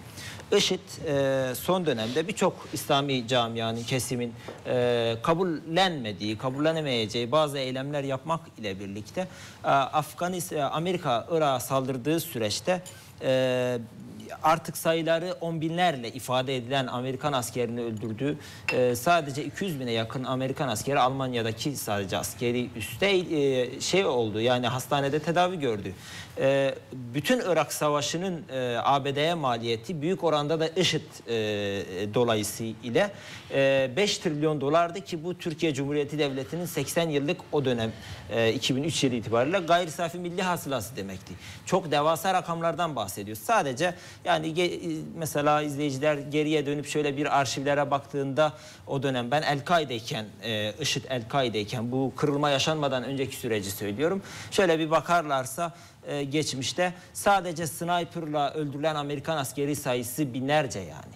Dolayısıyla e, İslam dünyasının hiçbir e, özgün direnişinin ağırlığının olmadığı, hiçbir haklı tepki, tepki veremeyeceği, sürekli biçimde kullanılıyor olduğu bu tanımları kabul etmiyorum. Bununla birlikte IŞİD'in temelde IŞİD e, birkaç açıklamasında halkları tekfir etmediğini, onları kafir olarak görmediğini, asıl da Müslüman olduğunu liderleri e, bu açıklamaları yaptılar. Temelde Peki, bizim tartışma noktamız şu olmalı. Etik, Neden etik olarak söylüyorum? şunu sorayım da siz yine söyleyin. Bu çıkan görüntüler neyin nesi? Şimdi e, çıkan görüntüler yani çok ciddi oranda bir dezenformasyon yaşanıyor. Yani e, bugün Türkiye'nin isim vermeyeceğim çok büyük bir gazetesi e, yani o kadar uzmanın çalıştığı bir gazete manşet atıp işte e, IŞİD şok iddia bu da oldu. IŞİD işte e, şey Yezidi babalar e, bileklerini kesip bebelerine kan içiriyor susuzluktan ölmesin diye haber at- ya- yazıyorlar. Ya da bir bakıyorsunuz ki Yezidiler bir gün dışarı çıkmışlar aynı gün akşamı açlıktan ot yedikleri söyleniyor. Yani insanlar sabah çıktıkları zaman akşamleyin açlıktan ot yemezler yani. Ot yediler öldüler. Yani bu kadar ciddi bir propaganda yapılıyor. Bakınız yani Kobani'de Ama bir bakın, tane özür diliyorum sözümü 10 bin, tamamlayayım. 10 bin Yezidi Evet. Türkiye'ye geldi. Şimdi- Bunlar şimdi, e, bu doğaldır. Yani bakın ben şöyle bir konumda olmak istemiyorum. Yani ben burada hani herhangi bir yapılanmayı, görüşü savunuyor olmak istemiyorum. Ama nesnel bir bakış açısıyla değerlendirelim. İzleyicinin temel şeyini söyledim. Evet. Yani- Yani şimdi e, Kobani'de hiç sivilin yaşamadığı bir Kobani'de günlerdir bize sivillerin öldürdüğü katliam yapıldığına dair e, şeyler, hikayeler anlatılıyor. Ama e, Halep'te, Humus'ta her gün katliam yaşanıyor. Bu ikiyüzlülük IŞİD'i doğuruyor. IŞİD'i doğuran ikiyüzlülük Halep'in acısının, Humus'un acısının 300 bin insanın katledilmesine uluslararası toplumun hatta Türkiye'de de birçok kesimin ses çıkarmaması. Bu ikiyüzlülüğü doğuran şey Nevzat Bey. E, Yani IŞİD'i doğuran şey e, yıllardır Afganistan'da Taliban'a karşı büyük oranda Şii Hazaralar savaşıyor. Pakistan Taliban'ına karşı Şiiler savaşıyor. Lübnan'da e, Sünniler yıllardır 30 yıldır baskı altındalar Hizbullah tarafından. Yani Fransa'dan Hümeyni gitmiş Fransa'da özel uçakla İran'a bir devrim yapmış. Anti e, anti emperyalist devrim mi oluyor bu? Ben dolayısıyla Şiilerin e, yani uzun yıllar boyunca Amerika'ya bir e, darbe vurdu, emperyalizme karşı bir muhalefet ettiği tezini kabul etmiyorum. Bununla birlikte ben altını çizerek Şiilerle bir çatışmanın doğru olmadığı kanaatini paylaşıyorum. Yani ama saldıran sürekli biçimde İslam dünyasını böyle bir e, şeyin içerisinde, dilemanın içerisine koyan yine onlar. Yani bugün Suriye'de işte e, göz açıp kapayıncaya kadar 3 yılda 300 bin insan öldürdüler. Yani artık İran generalleri işte Hizbullah ne oldu Hizbullah'ın İsrail'e karşı savaşına? Ne oldu onların işte a- anti Amerikan söylemine, büyük şeytan Amerika'dır söylemine, işte İran'ın marşlarına ne oldu? Bu insanlar Sünni kardeşlerini orada şu soru öldürüyorlar. soruluyor. Temelde hocam çok iyi bilir. Temelde yani Şii e, Şi- gelenek ehli sünneti Müslüman olarak kabul etmez. İşte Onlar imamlarını kabul etmeyenleri kafir olarak İşte görüyorlar. şu soru Ama ehli sünnet Şia'yı kafir kabul söyleyeyim. etmez. Yani bu bahsettiğiniz anlamdaki mezhepsel düşüncenin arka planını tabii herkes kendisine göre biliyor. Ama deniyor ki işte mesela siz bunları dile getirdiğinizde evet Suriye ile ilgili gerçekten bir ikiyüzlülük var. Evet. Yani Yermük'te insanlar kedi köpek Tabii. fetvalar isterken İnsanlar bunlar yaşandı. Fakat kedi yiyorlar. meseleyi sadece eleştiri şu size ben izleyicinin eleştirisini ileteyim tabii sizin kendi şeyiniz. Deniyor ki yani meseleyi sadece Sünni Şii perspektifinden okuduğumuzda bu bu coğrafyayla sınırlı kalabilir. Ama bunun Somalisine baktığınızda, bunun işte Darfur'una baktığınızda, bunun Myanmar'ına baktığınızda iş farklı. İkinci soru bu mürtet kavramı çok kullanılıyor. Yani bu e, mesela biz de şu an programdayken e, sosyal medyadan e, üçümüze, dördümüze hatta e, işte mürtet kavramıyla ifade edilen şeyler geliyor. Mürtet nedir? Bu niye çok kullanılıyor? E, bir de Şimdi bunu açıklarsanız. temelde yani eğer biz e, Suriye'deki Suriye hattındaki çatışmayı bir tuzak olarak algılayabiliriz. Örnek veriyorum. Yani orada İran'ın yani e, generallerini gönderen İran, Şii İran e, Afganistan'da ülkesi işgal altındayken namusları e, ABD çizmeleri altında ezilen Şiiler gelip Afganistan'dan İran üzerinden e, Suriyeli kardeşlerini, Sünni kardeşlerini öldürüyorken, Sünni camileri e, bir yıkıyorlarken e, eğer biz böyle bir aranada e, Hizbullah bütün gücünü İsrail'i bırakıp unutup Suriye'de e, ma- e, masum insanları öldürmeye seferber etmişken biz kalkıp işte Selefiler mezhep savaşı çıkarıyor dersek o zaman ben derim ki yani ne, ne diyebilirim ki yani? Çünkü Sünni dünyanın hiyerarşik bir yapısı yok ama Hamani ve Sistani, Şirazi birkaç tane isim durun dese biz yanlış yapıyoruz. Biz Amerika ile Batı ile böyle bir kader birliği yapmamalıyız. İslam dünyasından böyle kaderimizi ayırmamalıyız. Müslüman kardeşlerimizi öldürmemeliyiz deseler aslında Suriye'deki sorun çözülürdü. Ve bu mezhep savaşta yaşanmaz. Savaşı başlatan ve devam ettiren onlar bakınız Afgan-Rus harbinde bile Şii güçler Nasıl orada çıkacağız? bunu yaptılar. Nasıl Bu- çıkacağız? Şimdi bu çıkmayla ilgili yani öncelikle Nasıl bu yani bu mezhepsel nokta ben sonuçta İslam ümit ediyorum ki dünyasının- Hı. çıkarız. Bakın Somali'de, Somali'de Nevzat Bey bir işgal 45 ülkeli bir işgal var Somali'de ve insanlar orada da bir açlığa mahkum edildiler ve bu doğal bir tepki. Kediyi bile köşeye sıkıştırsanız karşı duracaktır. Aynı biçimde Afganistan'da e, 50 tane ülkenin Afganistan'da Hristiyan ülkenin ne işi var? Bu insanlar Afganistan'da kendi dünya görüşüne göre bir İslam devleti kurmak isteyen Taliban'ı hedef aldılar ve taş üstüne taş gövde üstüne baş bırakmadılar. Sonra bu insanlara, bu zulümlere, bu işte işgallere direnen insanları terörist olarak yaftalayamayız. Biz- Ama bununla birlikte ben her özgür Müslümanın Müslüman olduğu için yani biz bir merhamet peygamberinin merhamet peygamberinin ümmetiyiz. Dolayısıyla biz bir yere gittiğimizde orada Yezidi olsun başkaları olsun insanlar on binlerle kaçıyorsa bunu elbette sorgulamamız gerekir. Şu soruyla kısa cevap alayım Ramazan Hoca'ya geçeceğim. Bu söylediğinizde şöyle bir itirazım var. Yani tamam bu proje var ama mesela Somali örneğinde işte İslam mahkemelerinden şevaba dönüşen bir yapı. Evet. İşte burada aşiretlerden işi de dönüşen bir yapı. Evet. Sonuç itibariyle bunların esas kavgası Müslümanların kendi içindeki kavga olduğu için çok eleştiriliyor. Tabii haklısınız Ee, bu konuda. Ha işte bu ben de aynı yerde duruyorum. Yani İslam dünyasında burada herhangi bir bir sorun var işte. hareketi- Bu nasıl yani Tabii. E, bu temelde- bir proje olamaz mı? Olabilir. Zaten ben de öyle görüyorum. Bakınız Ebu Musab el-Suri e, Hama katliamı sırasında bulunmuş ve İspanya'ya göç etmiş bir e, mütefekkir. Ebu Musab el-Suri şu anda e, Suriye'de hapistedir. E, Ebu Musab el-Suri diyor ki herhangi bir bölgede cihat yapıları tekfire kaydıkları ya da selefizme, selefizm, selefilik de demiyorum, selefizme kaydıkları zaman orada halk desteğini yitirirler ve bir tuzağa dönüşürler. Cezayir tecrübesini hocam dile getirdi. Cezayir belki de bütün cihat hareketleri içerisinde halk desteğine, meşruiyete bu kadar sahip bir yapıydı. Ama ne oldu? Öyle bir hale geldi ki insanlar böyle İslam istemiyoruz verdiler. Benzer şeyler Irak'ta da yaşanıyor. Bunu ben görebiliyorum ve Ama ben bunu İslam'a doğru kayma değil mi ama? Elbette şimdi e, bu şeyler yani e, İslam eğer toplumlara bir merhamet, bir adalet, yüksek bir kültür, bir nezaket ile gelmez ise ve onların temel ihtiyaçlarını gidermez ise ve kendisini İslam'ın savunucuları olarak gören kişiler cihat adına insanlara korku saçarlarsa onları e, yani o, o zaman insan, bu insanlar bir sekülerizme kayarlar. Çünkü Avrupa sekülerizmi de böyle bir sonuç e, sonunda doğmuştu. Ne ben şöyle algılıyorum. Ben yani ölçümü şöyle temellendiriyorum. Mesela Peygamber Efendimiz Mekke'ye girdiği zaman devesinin sırtında mütevazi bir biçimde Mekke'ye girdi ve orada Mekkeli e, e, kişiler ora, yıllarca onunla savaşmış, onu kendi şehrinden kovmuş kişiler bile e, bugün ben size nasıl e, muamele edeceğim diye sorduğunda dediler ki e, sana layık olan şekilde. Ben bu konuda aynı fikirdeyim. Yani ben e, özellikle Irak sahasında IŞİD'in küresel cihattan bir kırılmayı temsil ettiğini ve temelde e, işte içerisinde ben tekfirci olarak görmüyorum dedim ama içerisinde ciddi oranda bir tekfirci yapı olduğunu da reddetmiyorum. Bu önemli bir unsur. Var yani. Tamam. Ve bu e, e, şeyi orada e, bütün Suriye direnişine nihayetinde verdiği zarar ortada. Ramazan hocam sözünüzü kesmemek adına bir kısa mola vereyim. Hayır. Öyle yapalım. Sevgili seyirciler kısa bir moladan sonra beraberiz.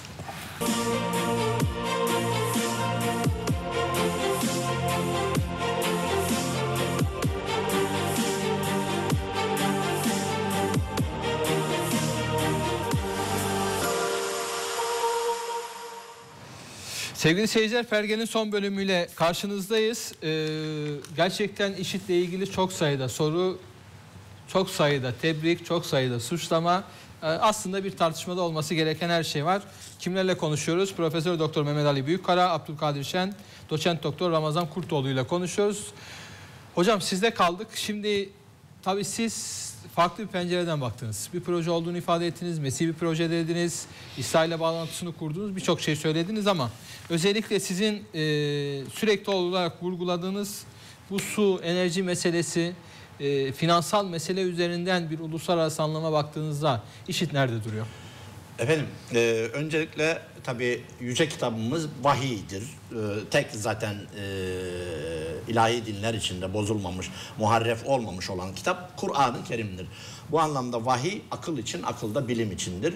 İşte ben sıkıntının İslam dünyasında aklı kullanmak kullanmadığımız için bilimde de tökezlediğimizi düşünüyorum. İşte Birileri bizim adımıza aklımızı kullanmış olabilir mi? e, tabii.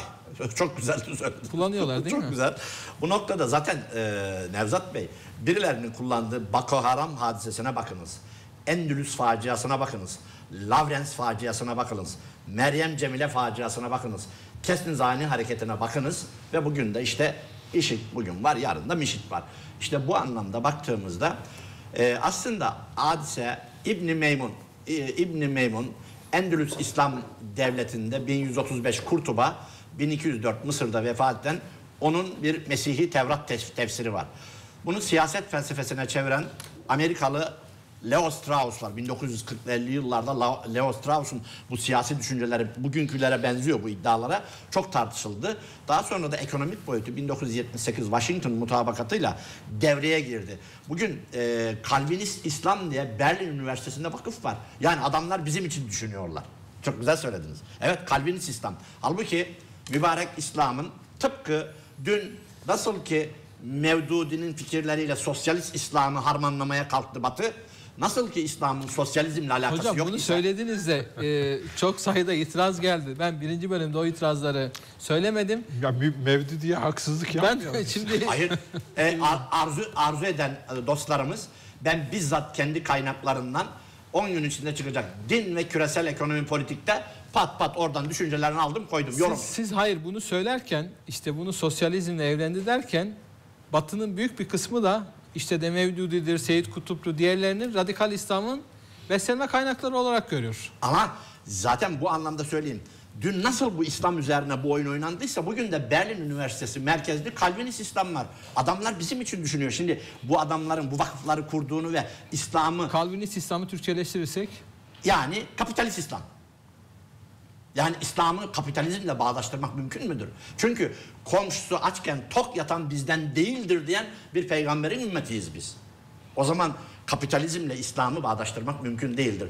Dün nasıl ki sosyalizm ile İslam'ı bağdaştırmak mümkün değilse mesela Meryem Cemile'den bahsettim. Ben Meryem Cemile'nin kendisini de biliyorsun birkaç sene önce Allah rahmet eylesin öldü. Ee, kendisini tanıma imkanını da buldum Amerika'da bir e, ko- şeyde konferansta. Şimdi Meryem Cemile'nin kitaplarını okudum. Meryem Cemile bir vatan mefhumunun İslam'da olamayacağını söylüyor. Halbuki benim bildiğim İslam'da kara toprağa düşmek, şehadetin, şehitliğin ilk e, ayağı vatan için ölümü göze almaktır. Kara toprağa düşmek. E, Meryem Cemile'nin kitaplarını tıpkı 1967 Arap-İsrail Savaşı'ndan önce görünmez eller Arap ülkelerinde milyonlarca adet basıp dağıttılar ve sonra bir pazar sabahı İsrail Hava Kuvvetleri Mısır ve Suriye Hava Kuvvetleri'ni yerle bir etti.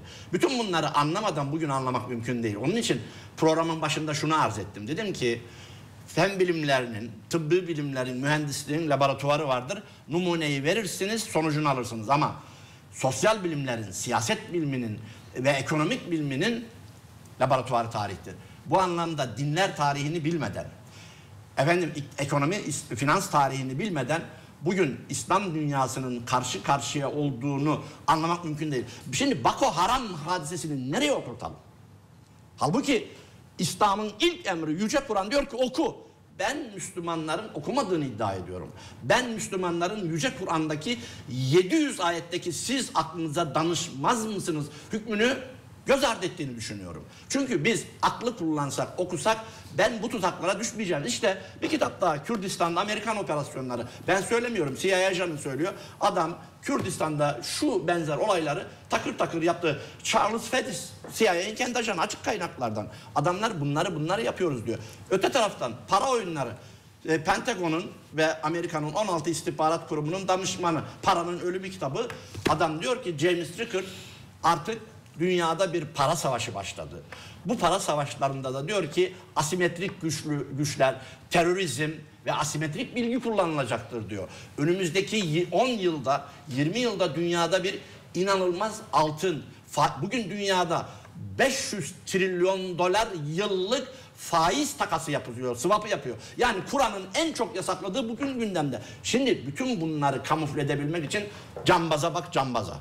Model bu. Cambaz orada. Cambaz burada İslam adına mücadele elbette hepsini kastetmiyorum ama İslam adına mücadele ettiğini ve Londra aksanıyla siz boğaz keserseniz benim inandığım Kur'an'daki İslam o değil. Soruyu o zaman sorayım. Ee, işit bir İngiliz anahtarı mı sizce?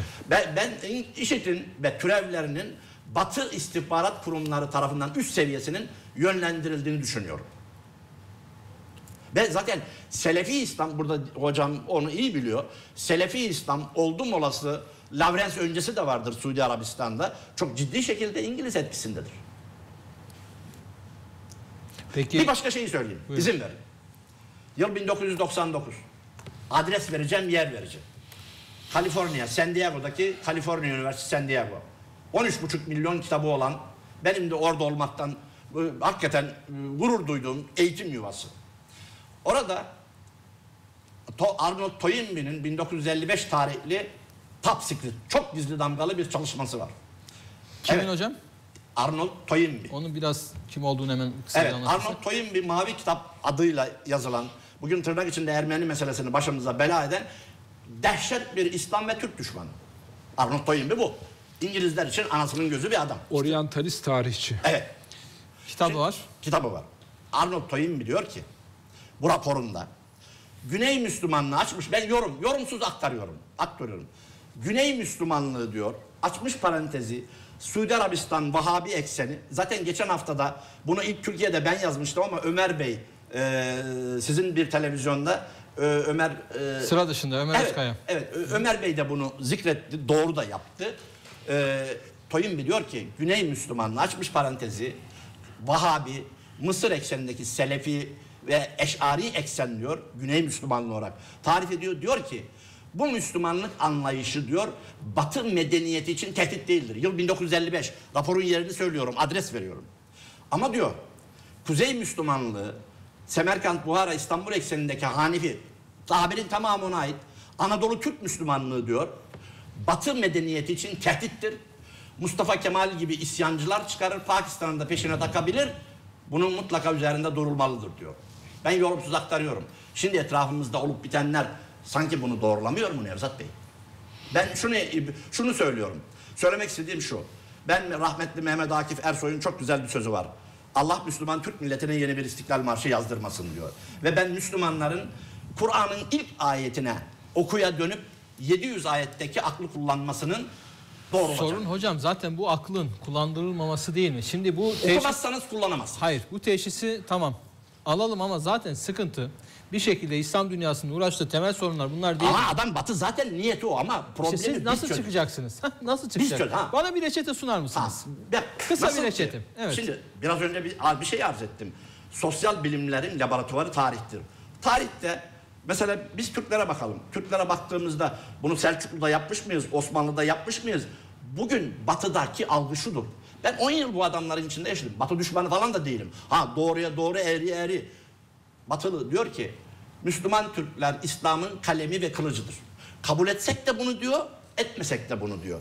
Bu anlamda bu anlamda mesela Kahire Üniversitesi'nden Türk Dünyası Araştırmaları Vakfı var Kahire Üniversitesi'nden. Türkiye'ye de sık sık gelir bir profesör dostumuz aynen şunu söyledi.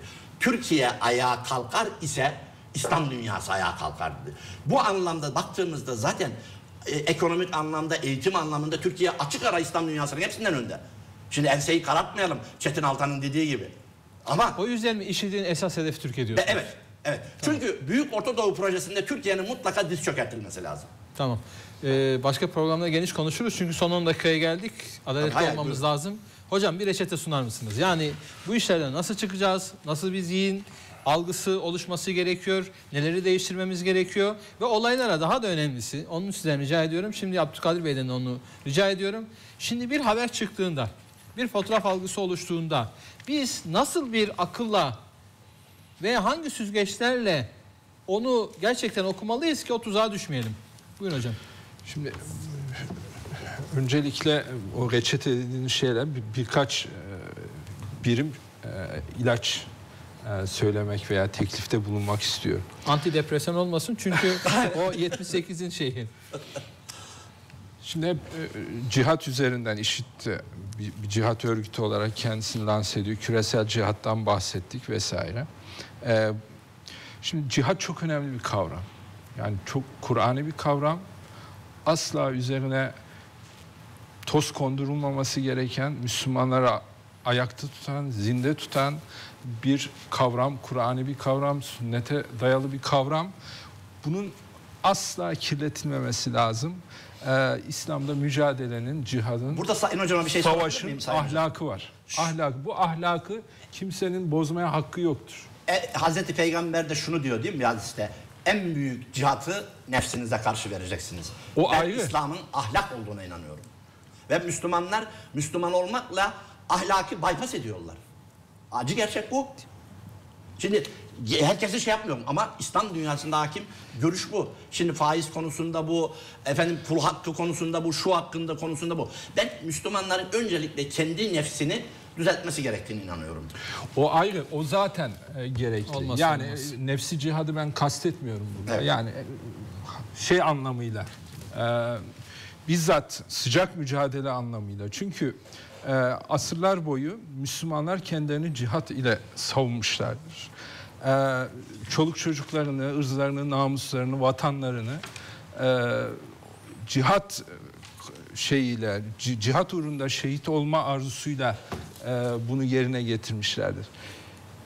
Kim olursa olsun, hangi yüce gayelerle savaşırsa savaşsın, kimsenin e, cihat e, kavramını kirletmeye hakkı yok. E, türbeleri yıkmanın, intihar saldırı, saldırılarıyla camilere hücum etmenin, insanları orada patlatıp binlerce namaz kılan insan hangi mezhepten olursa olsun bunları katletmenin, pazar yerlerine bombacılar göndermenin, Amerikan konsolosluğu, İngiliz konsolosluğu yok şu e, devletin gemisi bu dem- devletin gemisi diye saldırıp orada iki tane e, gayrimüslim öldürdükten sonra 100 tane Müslümanın ölümüne sebep olmanın bunun hiçbir İslami dayanağı yoktur. Hangi yüce gayeyle yapılırsa yapılsın. Yani bir defa e, bu noktada Müslümanların mutabık olması ve kendine denk alması gerekiyor. Çünkü cihat çok önemli bir kavram Müslümanlar açısından. Bunu el üstünde tutmamız lazım. Evet. Bunun ahlakı var. Ee, tekfir şeyini e, yeni baştan düşünmemiz lazım. İrtidat e, kavramı yeni baştan düşünmemiz lazım. yeni İrtidat baştan derken hocam, düşünmeye gerek yok. Kavramlar Zaten için izleyici yani- yabancı olabilir. yani irtidat demek İslam'dan e, çıkmak demek. Bir başka e, Müslüman öbür Müslümanı sen irtidat ettin derse işte tekfir etmiş oluyor. Sen dinden çıktın e, demiş oluyor. O zaman ne oluyor? Onun malı, canı, ırzı da e, haram helal olmuş oluyor öbür Müslümana. Öldüğünde Müslümanların kabristanına gömülmemesi gerekiyor. Karısından, kocasından boş olması gerekiyor. Çok ciddi sonuçları olan kavramlar. Bunların e, demin dediğim gibi ehli sünnetin çoğunluğunun hem de çok yüksek oranda çoğunluğun kabul ettiği ehli kıble tekfir edilemez. O adam samimi midir değil midir işte e, Allah'ın bir şey. o- türbenin karşısına geçip dua ediyor orada şirk mi koşuyor koşmuyor mu onu Allah ahirette karar verir. Adam Müslümanım diyorsa kıble ise helali helal haramı haram biliyorsa uygulamasa bile e, onu Müslüman kabul etmek, ona Müslüman hukuku uygulamak gerekir. Mezhepler savaşın bu tür e, acıların e, yaşanmaması için bu- bunun altını e, büyük bir vurguyla çizmemiz lazım. Bunun başına tabii eğitim gelir. Yani doğru İslam'ın e, insanlara taşınması. Bakın bir tane e, işit içinden çıkıp e, orada yaşadıklarını anlatan bir Suriyeli galiba sizin sitede ben okudum. Diyor ki e, hayret ediyorum diyor. Yani Iraklı ve Suriyeli işitçiler değil diyor barbarca hareket edenler. Avrupa'dan gelenler diyor. Yani biz onların yaptıkları karşısında diyor şaşkınlık geçiriyorduk diyor. Yani oradaki adam yeni Müslüman olmuş veya işte evvelden Esra Belki de görevli gelmiştir Yani- yani. benim ya o da olabilir. Ha, Evet. ee, işte Çeçenistan gibi, Türkistan gibi belki e, komünist idaresinde İslam'ı öğrenememiş. Sonra önünde İslam diye bir şey bulmuş ve ne bulursa onu İslam kabul etmiş. O da dışlamacı bir İslam anlayışı olmuş. Son üç dakikamı tamamlarsanız. Eğitim. Do- do- doğru e, Doğru İslam. is- doğru İslam'ı, e, hakiki Sünni İslam'ı e, öğretmek. Yani hocam Aslında- diyor ki oku ve akıl diyor. Aslında belki bu akşam e, objektiflik adına ben bu kadar Şiilik meselesinin konuşulacağını bilseydim bir Şii uzmanında veya bir Şii vatandaşında burada olması hakaniyet adına önemliydi. Onu da belirteyim. Son 3 dakikamız bir reçete. Temelde hocam herkes bir reçete arıyor. Reçetenin e, Müslüman kitleleri bırakın Şiisi, Sünnisi de dahil Müslüman kitleleri kolay bir biçimde tekfir eden bir cihat olmadığı, böyle bir cihat algısı olmadığı ortada. Yine e, İslam'ı bir medeniyet olarak dünyaya tanıtma aracının da e, her ne kadar işte İslami dayanakları olsa bile kafa kesmek olmadığı da ortada.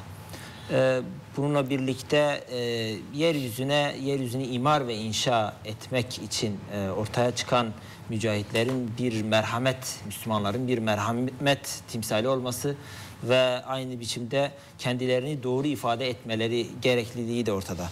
Bütün bununla birlikte ben e, cihat ve içtihat kavramını önemsiyorum.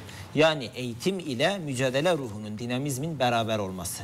Ancak Cihat dediğimizde ne cihat dediğimizde katliam ya da kıtali yani savaşı sadece kastederiz ne de küresel cihat dediğimizde dünyanın her tarafının şuursuzca strateji olmadan ateşe verilmesini kastederiz. Dolayısıyla Müslümanlar prensipli, programlı hareket etmeli ve asıl düşman, asıl İslam dünyasını bu hale getiren güçler, potansiyeller nedir? Bunu iyi görmeleri ve bunları tıkamaları lazım. Dolayısıyla küresel cihat batıyı temel problem olarak, düşman olarak addettiğinde İslam dünyasındaki problemlerin kaynağında temelde Anglo-Amerikan dünyanın olduğu teziyle yola çıkmıştı. Ee, haliyle içtihat dediğimizde de yani İslam'da e, cihad edenler ile ilim, irfan, akademik çalışmalar yapanlar birbirinden ayrılır.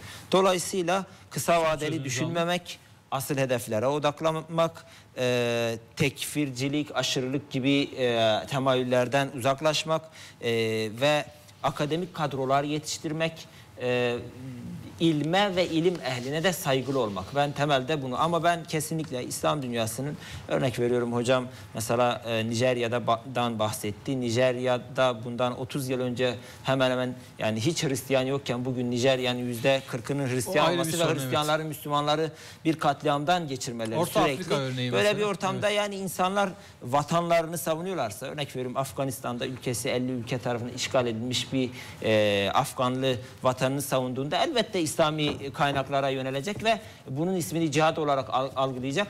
Bu sadece kutlu ve onurlu bir eylem olarak al- algılanmalıdır. Ancak bunu tanımlamamız lazım.